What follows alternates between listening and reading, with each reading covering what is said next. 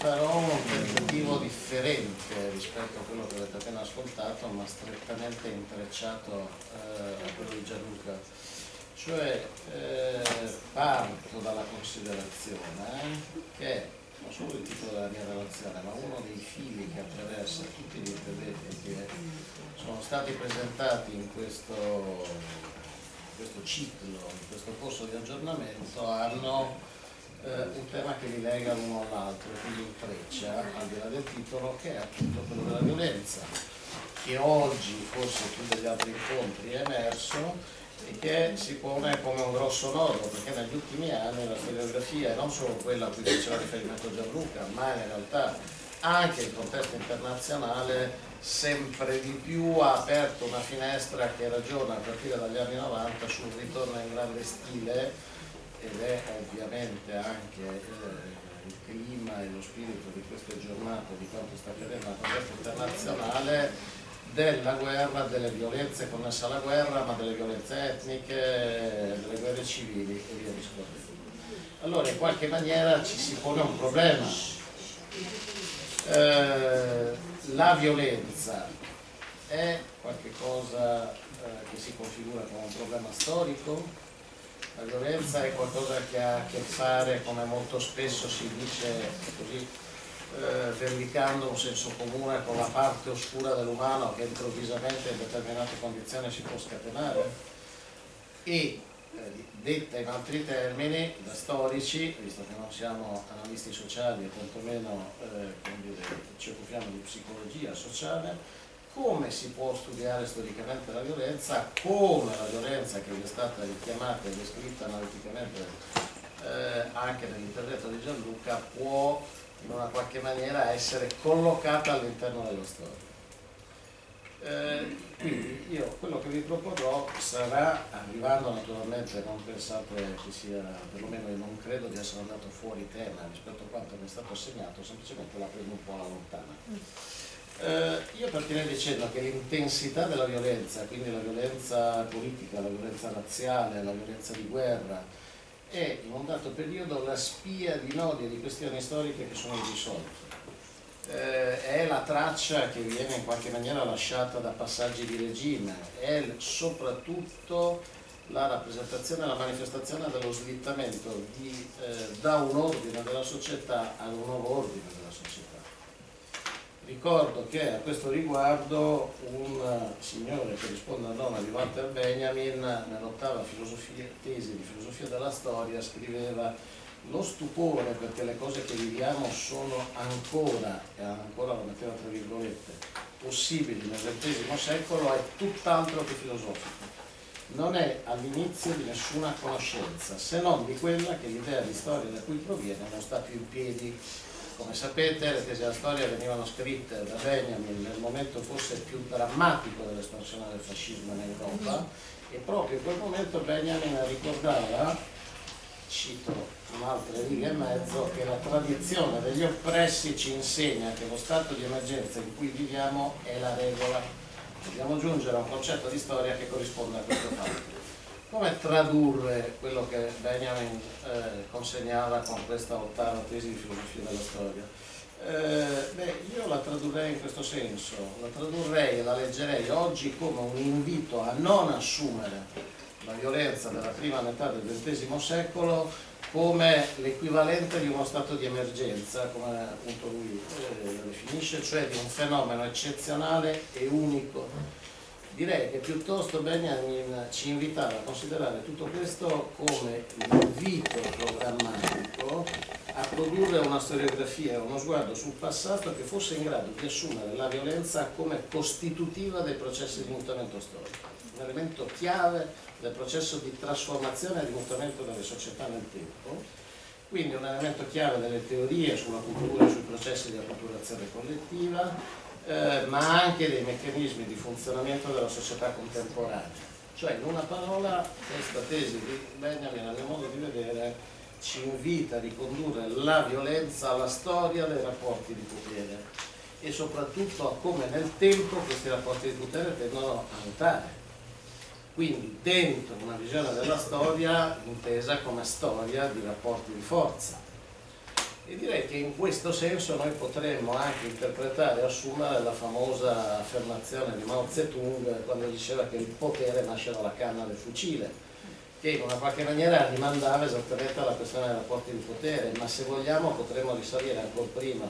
alla visione di Marx della violenza come levatrice della storia, nel senso che l'emergere della nuova società era preceduto e non causato da delle esplosioni di violenza, così la, la questione della levatrice non a caso, così come i dolori del parto precedono e non causano la nascita. In questa prospettiva lo Stato era o poteva essere, secondo Marx,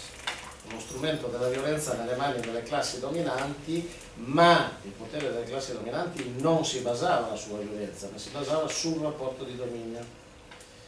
Allora forse eh, con queste citazioni ci possiamo avvicinare, a mio modo di, dire, di vedere, a dire una cosa, a individuare una cornice fondamentale nel nostro discorso sulla violenza, sulla questione della violenza. Cioè che noi non possiamo assumere la violenza, a mio modo di vedere, come un problema in se stesso, se vogliamo capire, studiare analiticamente le forme, ma soprattutto le ragioni, le cause della violenza, dobbiamo assumerla nel suo rapporto con il potere. E come si configura questo rapporto? Eh, nella tradizione cristiana c'è un rapporto costitutivo tra potere e violenza.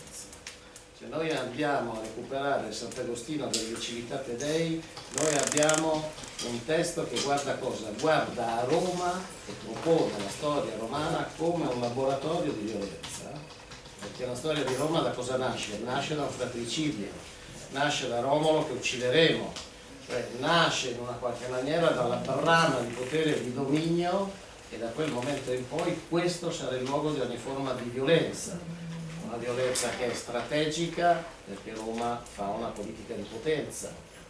Pensate a quello che scriveva von Clausewitz all'inizio dell'Ottocento quando ricordava che la guerra nella sua natura intima, nella sua essenza di annichilimento,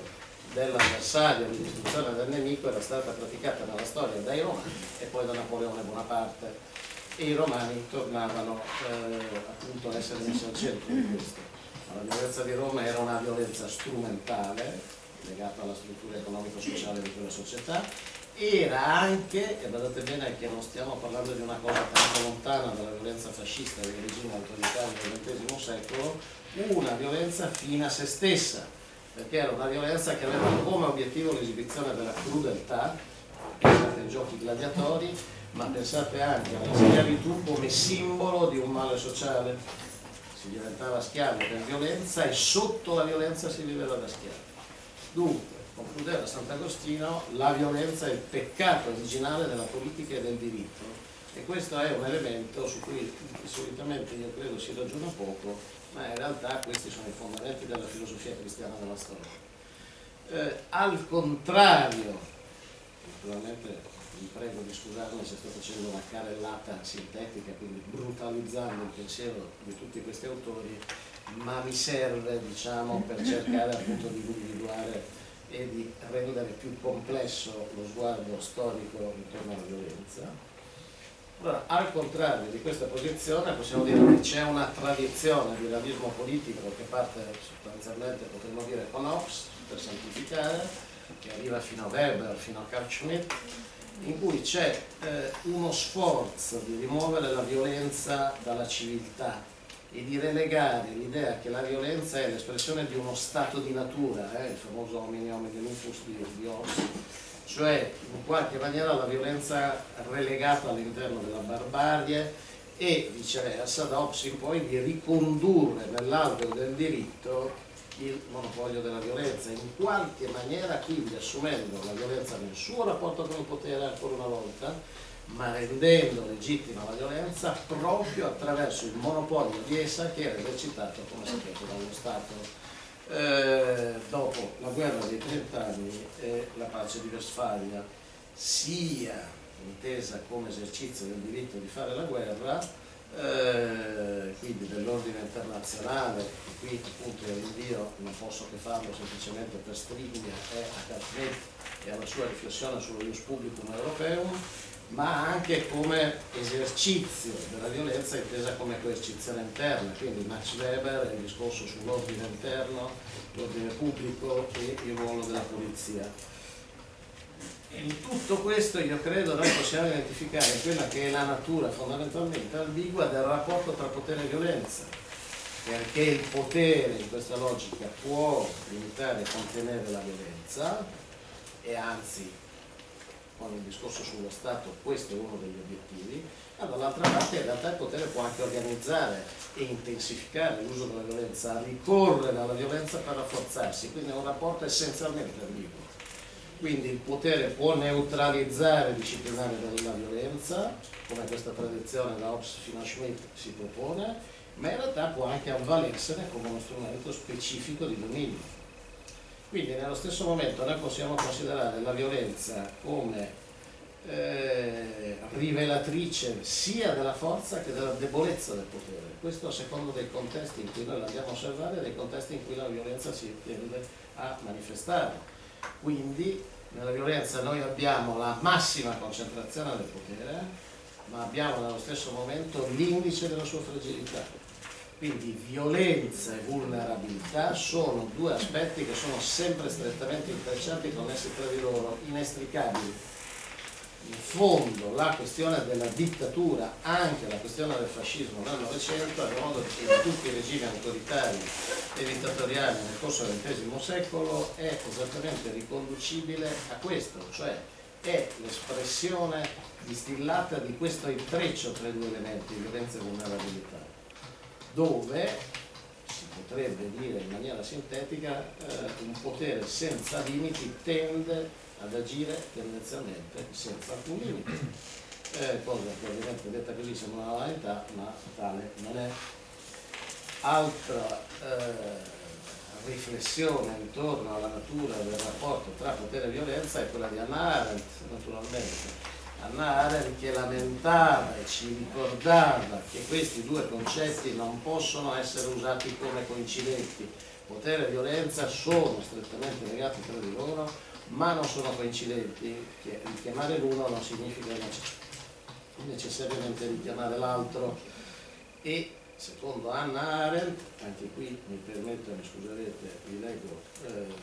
quattro righe, la violenza è per natura strumentale come tutti i mezzi ha sempre bisogno di una guida e di una giustificazione per giungere al fine di ciò che persegue. E ciò che ha bisogno di una giustificazione da parte di qualcos'altro non può essere la sostanza di niente. Mentre invece, continuava Anna Arendt, il potere non ha bisogno di giustificazione essendo inerente all'esistenza stessa delle comunità politiche. Quello che invece gli serve è la legittimazione potere emerge ogni volta che la gente si unisce e agisce di concerto, ma deriva la sua legittimazione dal fatto iniziale di trovarsi assieme piuttosto che da qualche azione che ne può in seguito derivare. La violenza può essere giustificabile, ma non sarà mai legittimata. Potere e violenza sono opposti, dove l'una governa in modo assoluto, l'altro è assente. La violenza compare, e concludeva Anna Arendt, dove il potere è scosso, ma lasciata a se stessa finisce per far scomparire il potere. Quindi, seguendo il filo di questo ragionamento, possiamo dire eh, ciò che è il mio punto di partenza di questo ragionamento, che la violenza non può essere un problema assunto come un problema in se stesso. Non può essere assunto come un problema in se stesso, almeno per gli storici, perché fa il nostro mestiere. A mio modo di vedere, non è in se stesso una questione storica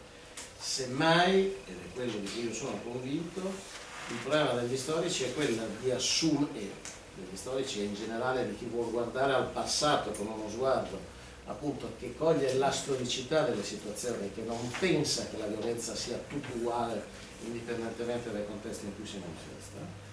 Semmai la questione, a mio modo di vedere, è quella di assumere il rapporto tra potere e violenza come un indice del mutamento,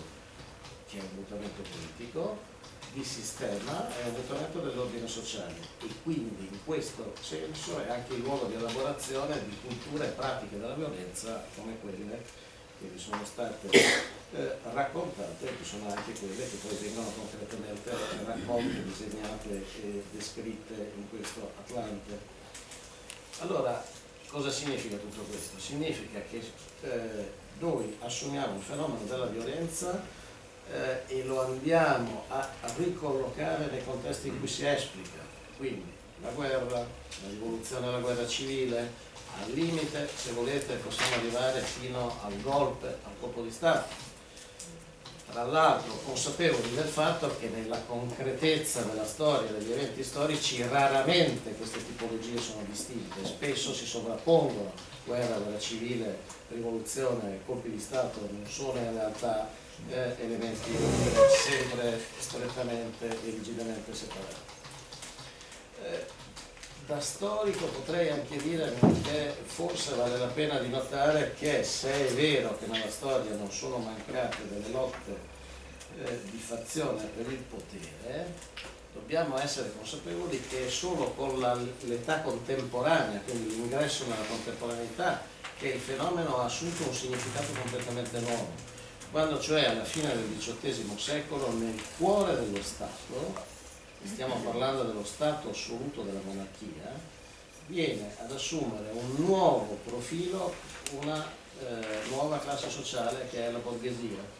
e viene a definirsi in quel contesto la sfera di quella che noi da allora in poi tendiamo a chiamare e a definire come categoria della società civile.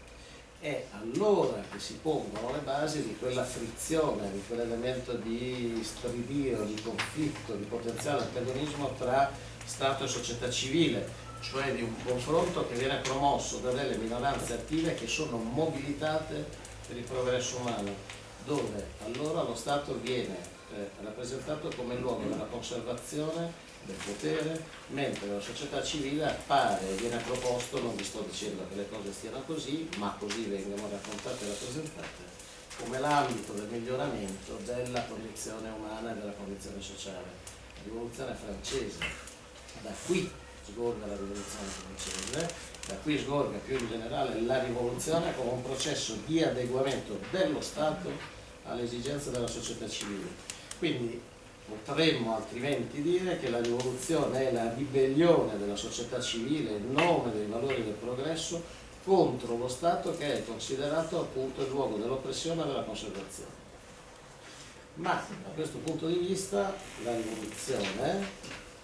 come anche la guerra civile, e quindi anche qui, se anche la prendono lontana, in realtà stiamo parlando di cose che in realtà sono la cornice dei discorsi che faremo sul Novecento, anche la guerra civile con la rivoluzione è in fondo che cosa se non una lotta per l'appropriazione del potere che non è regolata dal diritto se quando parliamo di guerra civile noi intendiamo evidenziare il ricorso alla violenza e viceversa quando ci riferiamo alla rivoluzione pensiamo alla violenza come a una necessità transitoria, in realtà, o meglio, nella realtà storica, queste due parti non sono in realtà separate. E questi due volti del mutamento sono strettamente legati tra di loro quindi rivoluzione e guerra civile non si lasciano e non si lasceranno mai nella storia, e a maggior ragione nella storia dell'età contemporanea, separare facilmente la rivoluzione intesa come ciclo rivoluzionario è un fenomeno sociale e strutturale di lunghissima durata che non si ferma solo al momento di emersione del della rivoluzione, nel caso specifico al momento ad esempio in cui in Francia decoriamo il re, eh, ma eh, appunto è parte di un ciclo di trasformazione più lungo, così come dobbiamo considerare che all'interno di quel ciclo è contenuta in qualche modo la guerra civile, in questo senso intesa come una violenta rottura di equilibrio politico che accade nel tempo breve, non nel ciclo quindi nel tempo lungo eh, ed è in quel momento che la violenza si fa più estrema, quindi la fase della guerra civile, ad esempio della rivoluzione francese per l'appunto, dove la guerra, si, eh, dove la violenza diventa radicale ed è volta alla distruzione dell'avversario, cioè il terrore. Eh, quindi se noi consideriamo questi intrecci storici, violenza e potere, rivoluzione e guerra civile, possiamo forse arrivare a formulare una prima ipotesi, una prima dire, lettura interpretativa di carattere generale. Cioè, io credo E su questa base, entrando nel processo storico, noi possiamo definire due fasi storiche distinte, due fasi di radicale mutamento politico-sociale dove guerra, guerra civile e ciclo rivoluzionario sono strettamente intrecciati tra di loro e difficilmente districabili e dove la guerra all'interno dello Stato-nazione e la guerra all'esterno, cioè la guerra fra Stati-nazione, sono strettamente intrecciati, due fasi che conducono a una nuova organizzazione del potere, due fasi in cui la violenza va assunta come una spia, un indizio della radicalità dello scontro, della intensità dei processi di trasformazione e di mutamento sociale.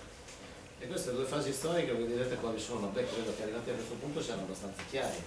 Una è la fase che io collocherei per capirci come tutte le priorizzazioni è indicativa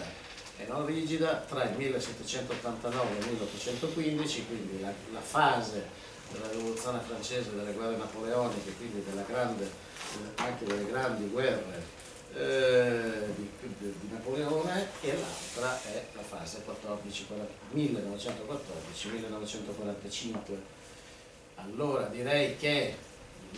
la prima di queste due fasi noi potremmo con una qualche forzatura definirla la prima guerra civile europea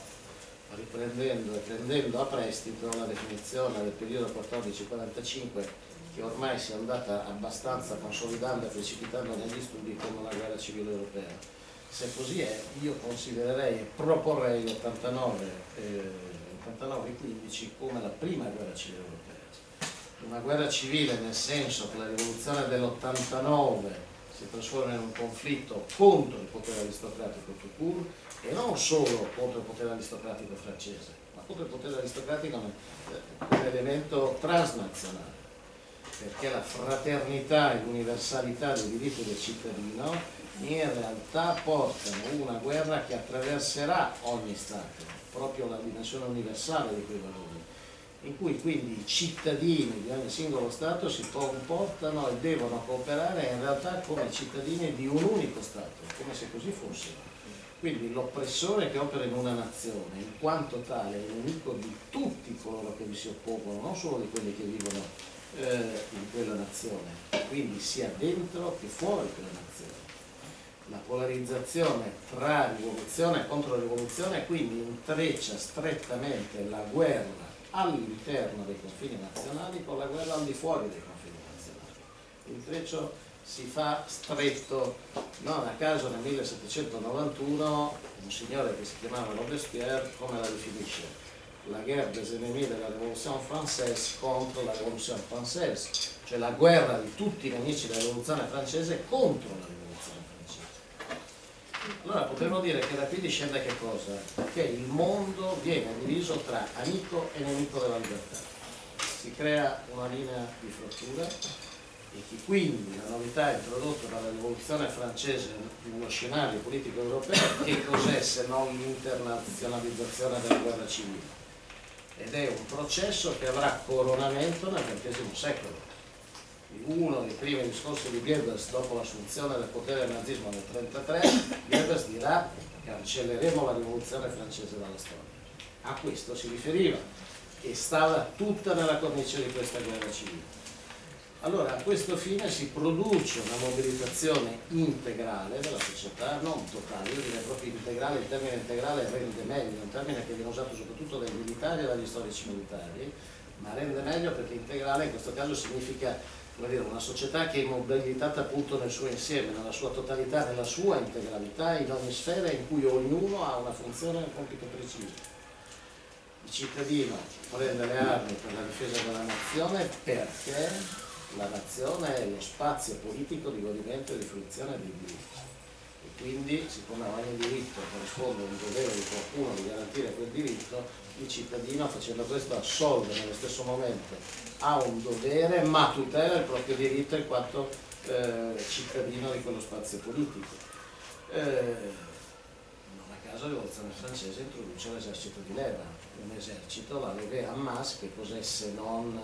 un esercito di cittadini che combattono per la nazione ma combattono per se stessi anche, quindi un dovere che è l'altra faccia del diritto. eh, e proporrà la rivoluzione francese la famosa guerra d'outrance che è quella eh, dei rivoluzionari, una guerra d'oltranza che appunto, come ci avrebbe poi ricordato Clausewitz, è in una qualche maniera la guerra che tende all'assoluto, che tende cioè all'unica vera regola della guerra eh, che è quella appunto di tendere alla sua assolutezza, cioè di tendere all'annichilimento e alla distruzione dell'avversario. Tant'è che oggi è sempre più consolidata l'immagine da parte degli storici che studiano le guerre napoleoniche di quelle guerre come la prima guerra totale della storia. Se vogliamo giocare coi termini su una 5 e mezza siamo tutti relativamente stanchi, consentiamocelo, eh, potremmo dire che in fondo le guerre del ciclo rivoluzionario francese cui si, su cui si innesta le guerre di Napoleone Bonaparte cosa sono se non la prima, guerra, la prima vera guerra mondiale? allora potremmo dire che in fondo la grande guerra diventa la seconda e quella che noi chiamiamo seconda guerra mondiale diventa la terza. Scusate, gioco un po' con i termini, ma per capirci anche di qualcosa stiamo discutendo. Eh, cioè, appunto, una guerra assoluta che è fatta, per dirla in maniera proseliziana, che è fatta per la distruzione dell'avversario. Ed è qui che passiamo dalle guerre delle monarchie alle guerre delle nazioni in armi passiamo al mito e alla realtà del popolo in armi, che è uno dei grandi spettri che agirà durante l'Ottocento fino alla prima metà del Novecento. Popolo in fondo, è anche la resistenza, cioè il grande problema che si porrà e che sarà alla base da questo momento in avanti del timore delle insorgenze, così come gli spagnoli che erano insorti contro l'opposizione napoleonica che non a caso per la prima volta utilizzano il termine di guerriglia, cioè di piccola guerra, di quella che poi noi chiameremo guerriglia, in fondo la resistenza che altro è se non una guerra di guerriglia, che è il grande spettro non solo delle monarchie, ma che sarà il grande spettro degli stati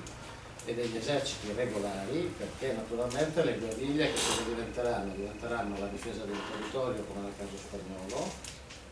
non a caso eh, Schmidt parlando del caso spagnolo e parlando del partigiano nella sua teoria del partigiano negli anni 60 formulerà questa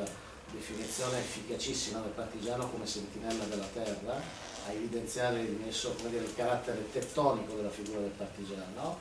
ma nello stesso momento nel Novecento l'intreccio delle, delle guerriglie con la politica e con l'ideologia fa sì che le guerriglie diventino una minaccia di sovversione dello Stato di sovversione dell'ordine esistente e quindi una minaccia assoluta e di qui appunto anche l'intensità della violenza e della guerra civile. Eh, se consideriamo questo periodo concluso nel 1800, cioè questa prima guerra civile europea chiusa nel 1815 con il congresso di Vienna dopo la sconfitta di Napoleone, come è noto eh, si tende a dire, tutti noi insegniamo che nel 1815-1914 sono 100 anni di relativa pace, la Pax Britannica, eh, Polani nella grande trasformazione dedica un saggio efficacissimo ed estremamente interessante a questo argomento. Stiamo attenti però a considerare che i 100 anni che vanno dal 1815 al 1914 non sono anni di immobilismo, cui le cose in ordine a questo tipo di fenomeni restano fermi. Non solo perché l'Ottocento è il secolo di un nazionalismo che è sempre più innervato di sangue, morte, di terra, identità e del nazionalismo esiste si costruisce tutto un immaginario, eh, se volete diciamo un immaginario pulp per molti aspetti, basti pensare a ciò che ha scritto e studiato per anni il nostro collega Alberto Mario Banti a Pisa sul nazionalismo, sul linguaggio, sulla cultura, eh, eh, le immagini simboliche del nazionalismo, eh, in cui il discorso nazionalista diventa il discorso di chi si riferisce a una nazione uniforme e omogenea e chi contesta il discorso nazionalista è un traditore e si mette al di fuori della comunità. Eh, e diventa un nemico assoluto. Ma il nazionalismo dell'Ottocento è anche un'iniziazione alla politica, è anche un fondamento di una ribellione giovanile generazionale nel corso del XIX secolo, in cui alla nazione si è disposti a sacrificare tutto, anche al massimo sacrificio che è quello della vita. cioè si forma un pensiero unico della nazione e della comunità, dove appunto violenza e sacrificio, guerra e morte, terra e sangue tendono progressivamente a confluire e preparano quei materiali culturali dell'immaginario che verranno rielaborati dalla destra europea, in particolare ovviamente dai fascismi, nella prima metà del Novecento. Eh, e questo è un primo fattore che ci dice che quel secolo sarà anche un secolo di pace, ma non è un secolo immobile. Secondo elemento, secolo di pace è vero? È vero e non è vero. Nell'Ottocento non ci sono le grandi guerre eh, del ciclo napoleonico, anzi il problema è che sia talmente forte la memoria di ciò che sono state le guerre napoleoniche che appunto il congresso di Vienna ha come obiettivo, adesso dico cose che non posso stare a spiegare agli insegnanti perché mi vergognerei a farlo, lo sapete meglio di me, sono cose che si insegnano ai nostri studenti, ma in cui l'obiettivo ovviamente è quello in una qualche maniera di tenere sotto controllo eh, il continente europeo, di evitare che si possa ritornare al ricorso alla guerra. E tuttavia le tante piccole guerre che attraversano l'Ottocento e eh, su cui non ci possiamo soffermare, eh, la guerra di Crimea, le guerre risorgimentali italiane, la guerra franco-prussiana, fino alla guerra anglo-boera, la guerra russo-giapponese del 1905, sono sì piccole guerre, aggiungerei anche la guerra civile americana ovviamente a questo discorso, ma in realtà se andiamo a studiare sempre di più, oggi si studiano in questa chiave, in questa prospettiva, sono guerre in cui nel loro essere relativamente limitate, cioè nel non diventare guerre mondiali, nel non durare anni e anni, hanno un'intensità della violenza che non ha precedenti, che si innesta sulla violenza delle guerre napoleoniche e la moltiplica per 10% per 1000. E perché? Beh, intanto eh, per l'elemento politico-culturale ideologico che è quello legato alla dimensione nazionalistica, ma anche perché ovviamente le tecnologie, l'applicazione del, del, potenziale industriale degli armamenti cambia radicalmente il modo di intendere. Eh, cioè rende possibile un potenziale distruttivo più alto che applicato a un diverso modo di intendere la guerra dà come cifra una maggiore intensità della violenza. Esempi sono tanti, non entro nel dettaglio, pensate all'uso delle artiglierie che sono fatto nella guerra franco-prussiana ma anche nella guerra di Crimea che in fondo è l'anticipazione di ciò che accade nella prima guerra mondiale con i grandi cannoneggiamenti, le trincee, basta leggersi eh, Sebastopoli di Dostoevsky, di Dostoevsky, è vero? Eh, per avere un'idea di che cos'è quel tipo di guerra. Eh? In quei racconti, se voi riuscite a strarre un momento e uscire al di fuori del contesto eh, della Crimea avete il racconto della prima guerra mondiale. Eh, le artiglierie della guerra franco-prussiana con i tedeschi che muovono grazie alle loro ferrovie non solo l'esercito ma muovono appunto le artiglierie decidono di bombardare indiscriminatamente Parigi e di bombardare anche le popolazioni civili. Eh, l'invenzione della prima mitragliatrice realmente automatica nel 1885, la Maxim che spara 600 colpi al minuto. Eh, e considerate che nel 1870 le armi che erano a sparavano 4-5 colpi eh, al massimo. Il fatto che il confine tra la popolazione civile e i combattenti, cioè coloro che vestono la divisa, viene progressivamente confuso, sovrapposto la guerra civile americana è una guerra civile in cui le manifestazioni le violenze di cui ci parlava Gianluca si manifestano per molti versi nello stesso modo l'infiltrazione dietro le linee nemiche, l'uccisione della popolazione civile per creare incertezza e paura e via discorrendo. Tutto questo per dire cosa? E non cito le guerre coloniali, eh, per dire che c'è un'estensione, una radicalizzazione della violenza di guerra che in realtà è l'annuncio di ciò che vedremo nel Novecento e che verrà consegnato dalle due guerre mondiali. È l'annuncio che lo Stato-nazione dell'epoca capitalistica industriale si avvia a essere il protagonista, l'attore principale della guerra, lasciando anche intravedere che le nazioni in un eventuale confronto bellico avrebbero messo in gioco tutto il loro potenziale, di qui la mobilitazione integrale, di qui quella che appunto normalmente si chiama, come recita anche il titolo di questo corso, guerra totale e o appunto guerra integrale. Chi è che lo coglie lucidamente? Nel 1889 un signore che si chiama Federico Engels, che cosa scrive? Eh? questa guerra nella quale 15 o 20 milioni di uomini armati si scannerebbero, devasterebbero l'Europa come non fu mai devastata. Questa guerra o produrrebbe il trionfo immediato del socialismo oppure sconvolgerebbe talmente l'antipordine delle cose e si lascerebbe dietro dappertutto un tale cumulo di rovine che la vecchia società capitalistica diventerebbe più impossibile che mai. E parla di una guerra in cui ci saranno da 10 a 15 milioni di combattenti, una devastazione inaudita solo per nutrirli, una soppressione forzata e universale del nostro movimento, una recrudescenza dello sciovinismo in tutti i paesi e alla fine un indebitamento 10 volte peggiore che dopo il 1815, un periodo di reazione basato sull'esaurimento di tutti i popoli dissanguati e tutto questo contro la piccolissima possibilità che da questa guerra accanita scaturisca una rivoluzione. Questo mi fa orrore, lo scriveva Engels nel 1889, è esattamente la descrizione di ciò che accade tra il 14 e il 45. E non è che Engels faceva il mago come secondo mestiere, non aveva la palla di cristallo, semplicemente osservava le novità che si stavano stendendo davanti a lui, che si erano stese nel corso dell'Ottocento. Ed Engels, lo ricordo,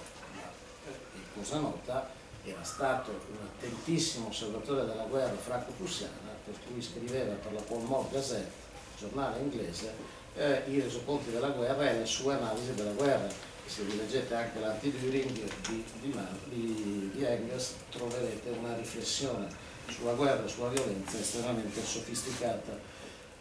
E siamo a cosa? Siamo alla seconda guerra civile europea, cioè siamo al 1445. Nuovo un ciclo dove una catena di eventi tende a condensare un mutamento epocale, crisi, conflitti sociali, guerre, cicli rivoluzionari, guerre civili, guerre interne e guerre esterne. Cioè un ciclo dove si assommano dei processi di mutamento sociale estremamente complessi. Un ciclo che conduce alla crisi profonda del liberalismo, eh,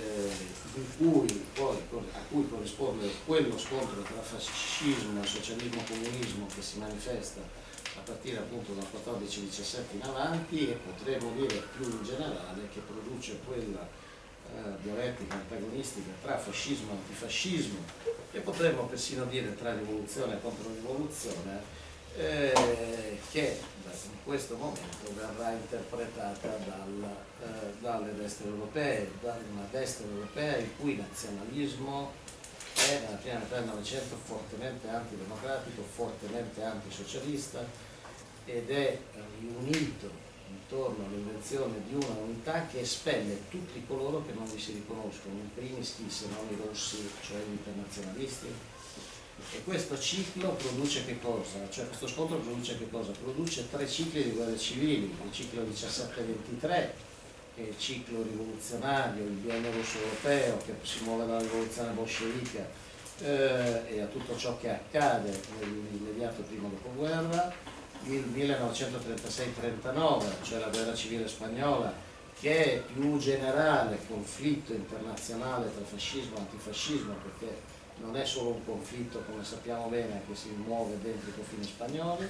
e il 1939-45, ma io direi più correttamente il 1937-1949,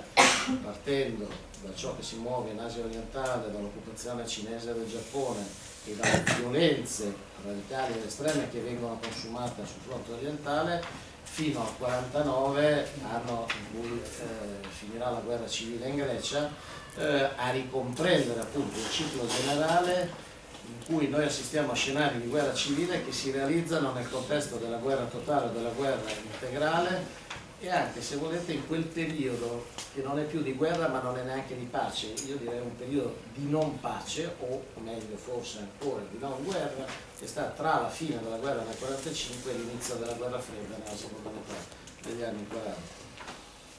come nella prima guerra civile europea, anche in questa seconda, tra il 37 e il 49, il movimento rivoluzionario tende a internazionalizzare la guerra civile e a esportarla nel mondo intero. Quindi la rivoluzione bolscevica infatti non ha nemici nazionali, la rivoluzione bolscevica ha solo nemici di classe. E la classe in questo caso è transnazionale ovviamente nel 1917 Lenin che cosa fa? Trasforma la guerra imperialista in guerra civile la rivoluzione bolscevica nel contesto della prima guerra mondiale, in fondo potremmo anche ricordarla in questo modo e la nascita nel 1919 dell'internazionale comunista in fondo va in questa direzione. Nello stesso momento noi abbiamo il proporsi in questa fase 14-45 ricordo del fascismo come fenomeno europeo. Il fascismo non è solo il fascismo italiano, come sapete bene, il fascismo è il fascismo storico, l'esperienza storica dell'Italia, ma è un fenomeno transnazionale. E se noi questo, anche se è stato in parte rimosso dalla storia, dalla memoria europea, se nel corso della seconda guerra mondiale la Wehrmacht, l'esercito del Terzo Reich, alleato dei fascisti italiani, occupa praticamente, fa la prima unificazione europea, se anche me l'ha consentita in mezza battuta, perché in fondo Hitler che fa la prima unificazione europea, occupando dal mare del nord eh, al mare Mediterraneo, dalla Manica alle grandi pianure russe, anche se per un periodo breve, tutto questo si rende possibile perché? Si rende possibile perché ovunque arriva il Reich trova collaborazione in tutti i paesi europei dove è più marcata, dove lo è meno, dove certo trova anche resistenza, altrettanto diffusa la sua presenza, ma ovunque, ricordiamolo, trova collaborazione ed è collaborazione, non collaborazionismo. Non sto parlando dei fascisti locali che eh, o dei neonazisti che incalzano le divise dell'SS che ovunque danno vita delle divisioni combattenti, quelle che combatteranno fino all'ultimo giorno davanti al bunker di Hitler, dove ci sono i francesi, i belgi, gli spagnoli, molto più numerosi dei tedeschi bunker di Hitler, perché i tedeschi sono già stati sterminati eh, dalla lanciata dell'Armata Rossa. Eh, che cos'è che li fa combattere fino all'ultimo minuto? è esattamente questa mobilitazione ideologica estremamente forte e appunto se il nazismo governa su tutta Europa per quella eh, fase breve ma estremamente intensa è proprio ovunque oltre a questi trova la collaborazione delle componenti moderate filofasciste eh, che vanno oltre le specificità nazionali. In questo senso il fascismo, a mio modo di vedere, è assunta sì come una risposta alla crisi del vecchio ordine, una crisi del sistema sociale, una crisi delle classi dirigenti che si realizza attraverso la mobilitazione delle masse o anche in termini di vera e propria militarizzazione o di un controllo sociale o anche di un misto per queste due soluzioni ed è qui che di nuovo troviamo il problema della violenza il problema della violenza che nel primo dopoguerra ed è la storia del fascismo italiano è utilizzata dalla destra politica, quindi dal fascismo come, come una tecnica di conquista del potere ed è questa che spiazza. Poi potremo aprire una parentesi, non so, forse sì, forse no, perché a quella violenza non si trova una risposta altrettanto violenta, che è un problema storico sottovalutato, eh, ma a mio modo di vedere di grande interesse, mi limito eh, a dirlo tra parentesi e chiudo subito la parentesi, quindi la violenza utilizzata dal fascismo come tecnica di conquista del potere che poi è trasferita nella gestione e nell'organizzazione del potere, quindi contro il nemico interno, tanto nel fascismo italiano che nella Germania nazista, e poi nella guerra, quindi contro il nemico esterno. Eh, e, guardate bene, quindi qui spero che adesso si capisca perché anche l'ho presa lontana, ma stiamo arrivando al nocciolo del nostro ragionamento, nella destra fascista la violenza è assolutamente centrale ed è assolutamente centrale perché è il prodotto in primo luogo dei processi di costruzione e invenzione del nemico, il nemico interno per la coesione della comunità nazionale e il nemico esterno. Eh, tanto più intensa la violenza della destra, quanto più questa violenza è strettamente connessa alla presa del potere e poi al controllo del potere quindi una violenza che è strumentalmente necessaria e che a questo fine viene elaborata, pensata, razionalizzata, diventa un elemento identitario del miliziano fascista. La violenza non è qualcosa di esonativo, è un elemento centrale nella definizione del militante fascista che attraverso la violenza si rafforza, si valorizza, si seleziona, si realizza il mito della violenza nel fascismo eh, dei, dei, mai morti, di tutti gli slogan che stanno alla base del fascismo è in parte riassumibile a modo di vedere in questa. Eh, è quella violenza secca di cui parla in un piccolo saggio spagnolo rivelò con degli elementi di genialità, seppure se ne può discutere il valore, Jonathan Littell, o Littell, secondo anglo-francese, quindi a secondo di come lo vogliamo pronunciare, l'autore delle Benevole, il romanzo tradotto anche in italiano, ottimo romanzo che per la prima volta in forma romanzesca assume il punto di vista del carnefice, raccontando la storia di un ufficiale dell'SS, ma Vittel, questo è meno noto, ma Einaudi è stato tempestivo nel tradurlo subito dopo l'uscita delle benevole, quando scrive Il secco e l'umido, piccolo libricino dedicato a Leon Degrel e ai nazisti belgi, eh, parla esattamente di questo, cioè parla di una violenza secca, di una violenza che è parte del modo fascista di produrre la realtà, cioè il fascista che si costruisce e si rappresenta attraverso la disciplina, l'addestramento, il coraggio, lo sprezzo del pericolo, come a dire che il fascista struttura il mondo uccidendo, struttura il mondo ricorrendo sistematicamente alla violenza. Questo è un tratto distintivo eh, del periodo 14-45, è un tratto distintivo che culmina nel secondo conflitto mondiale, direi è un tratto che si invera nella guerra e nella violenza di guerra, e questa è la ragione per cui io credo possiamo considerare e ritenere che la guerra, eh, quella che noi chiamiamo seconda guerra mondiale, è la somma di tante guerre diverse, o meglio, è la somma di tante diverse forme di guerra che sono elaborate nell'esperienza della cultura eh, occidentale ed è anche per questo che quella guerra noi la consideriamo ancora oggi il momento apice della violenza e rappresentiamo spesso il XX secolo come un secolo più sanguinario degli altri e gli studi ideologici dicono che tanto vero non è però eh, perché ce la rappresentiamo così? Proprio io credo perché in questa violenza che si manifesta nel corso del secondo conflitto mondiale e nel, secondo, e nel contesto più ampio della seconda guerra civile europea noi mescoliamo insieme cose diverse. In questo senso io credo che la guerra fascista, cioè la guerra che viene condotta dai fascisti intendendo utilizzando sotto termine fascista anche il nazismo in questo caso, non inventa assolutamente niente di nuovo, ma l'elemento caratteristico della guerra che viene condotta dai fascisti e dai nazisti è il fatto che eh, in quella guerra viene sintetizzato e miscelato tutte quelle che sono le forme che erano state assunte dalla guerra in epoca contemporanea. Questo è il vero tratto di novità. Nessuna invenzione, niente di nuovo, neppure la violenza, ma la miscela e l'intensità della violenza prodotta dal fatto che tutto questo viene messo insieme. Perché nella guerra nazista noi assistiamo ovviamente alla guerra regolare, cioè la guerra degli eserciti, eserciti contrapposti, eh, ma a una guerra regolare che porta in odio profondo la guerra irregolare e la guerra di guerriglia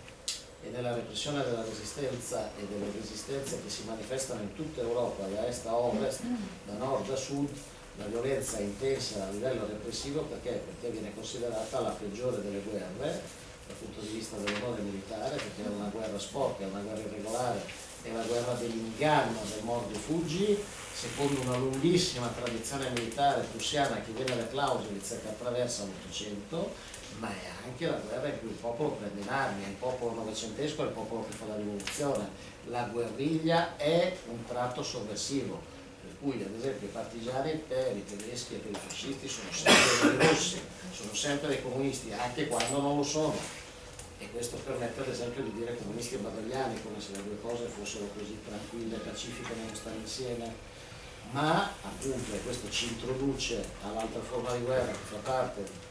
eh, della guerra nazista, ovviamente qui c'è una guerra ideologica, una guerra civile,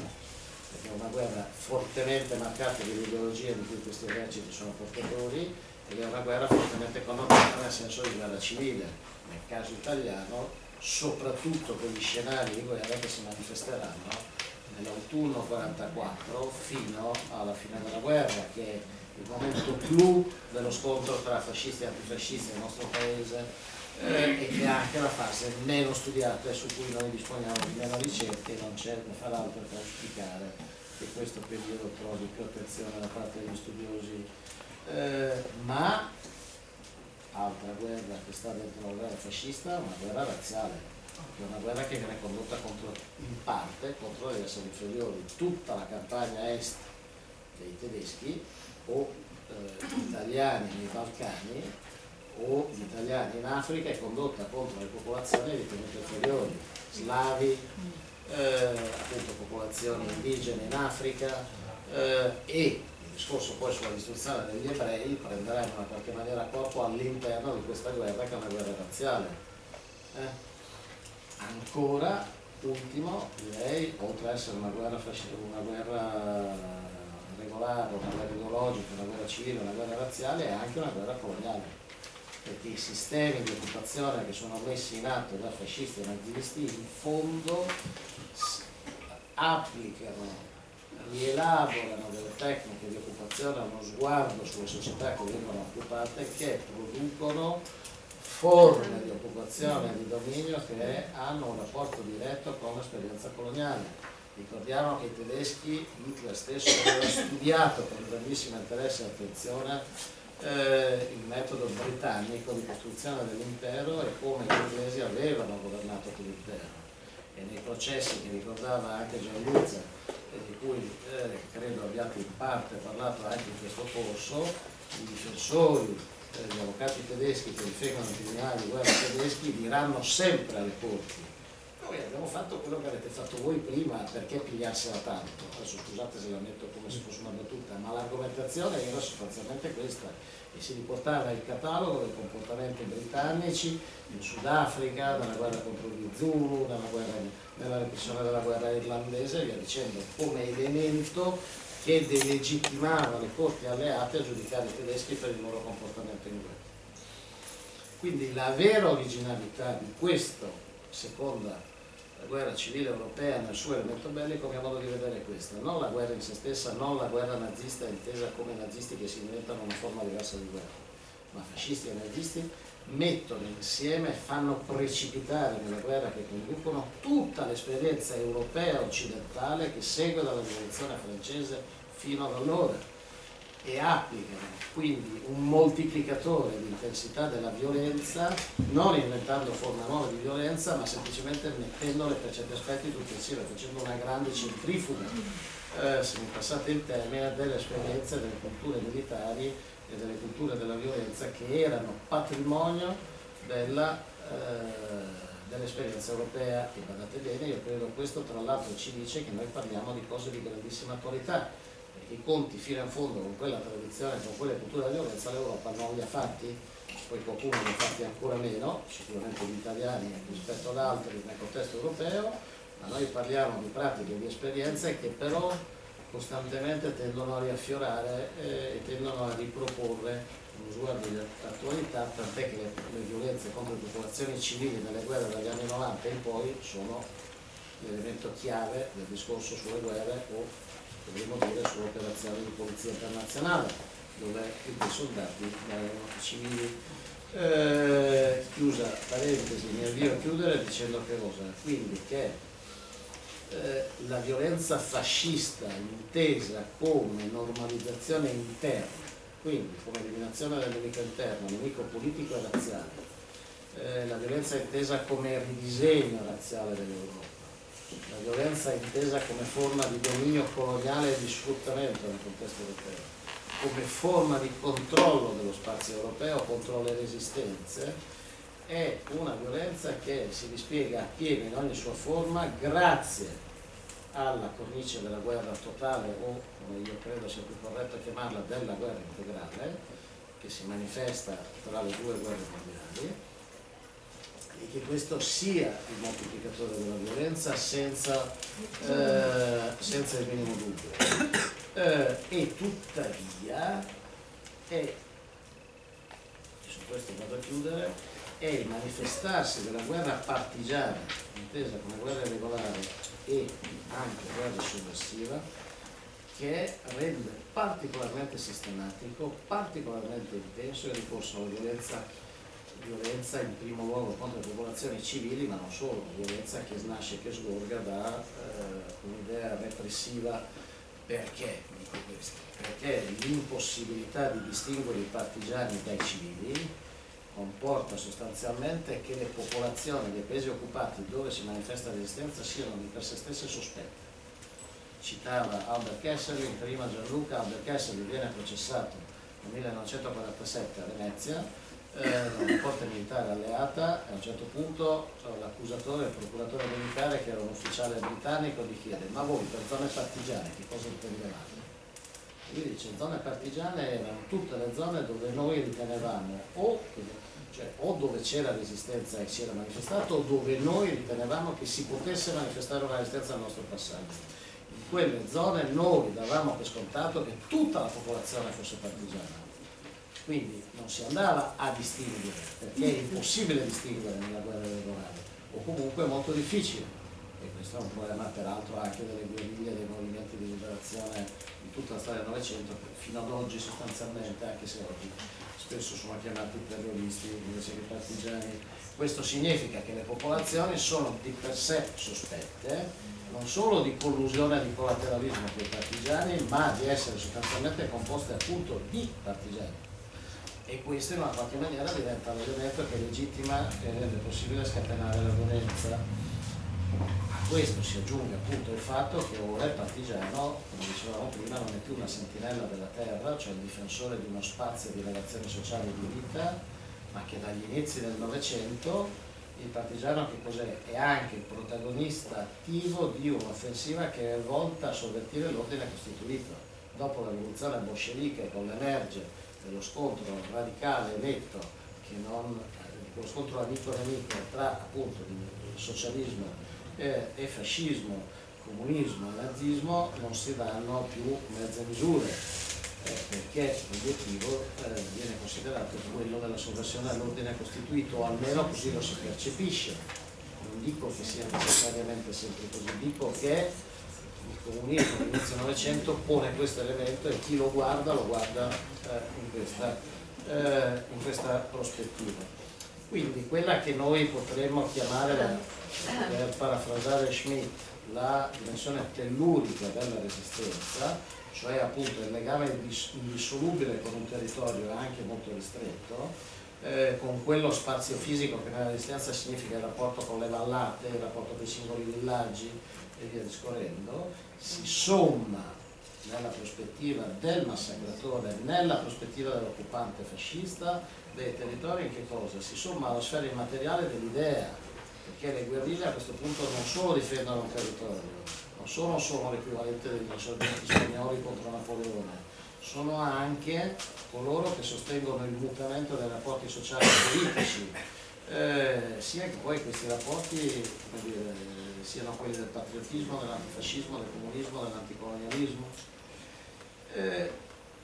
cioè nelle guerre della, in questa fase 14-45 lo spazio fisico della lotta armata e lo spazio politico dell'insurrezione eh, tendono a intrecciarsi e a legittimarsi vicendevolmente. Eh, e questo cambia drasticamente l'orizzonte e questo vale eh, dire, per il nemico reale eh, che assume da questo punto di vista che cosa? Assume il voto del nemico assoluto ed è questo che giustifica quella violenza di quell'Atlante, è questo che giustifica la violenza sterminazionista e la distruzione di popolazioni eh, e questo vale per molti aspetti da entrambe le parti. Quindi questo per dire, e vado a chiudere davvero, eh, che la guerriglia, la guerra partigiana diventa a questo punto una questione eminentemente politica non è più solo una questione di, di, dire, di tattiche e strategie militari.